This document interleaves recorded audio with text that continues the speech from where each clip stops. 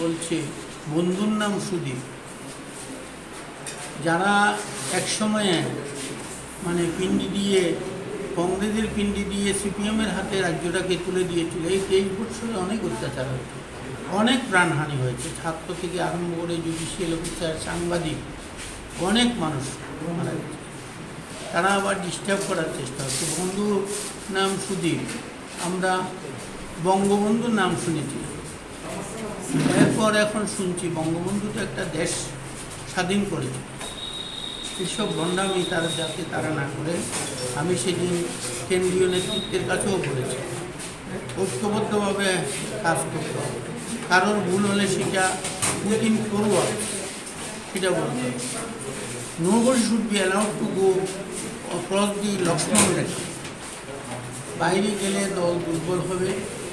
বিভ্রান্তি হবে, এখানেও কিছু কিছু লোককে বিভ্রান্ত করার চেষ্টা করছে, ছেলেকে যারা তাদের পারিবারিক ইতিহাস জানে।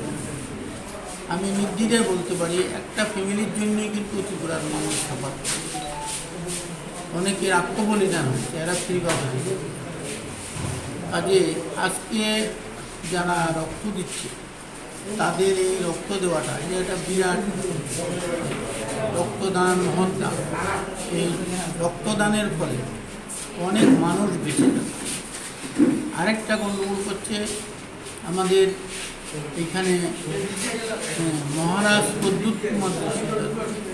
ওনাকে কেন মহারাজ বলা হয় ইন্দিরা গান্ধী সরকার উনিশশো উনসত্তরে রাজন্যভাতা চালু করেছে এবং এই রাজাদের উপাধি কেড়ে নেওয়া হয়েছে। এইটা এই যে বলা হচ্ছে, মহারাজ, এটা কিন্তু উনি বলতে পারেন না। যে রাজ্যে মানুষ, বিশেষ করে জনজাতি অংশের অনেক মানুষ এখনও না খেয়ে আছে, না খেয়ে থাকে। প্রত্যন্ত অঞ্চলের মানুষ। তাদেরকে সরকার খাদ্য পৌঁছে দেবে, সেখানেও বাধা দেওয়া হচ্ছে।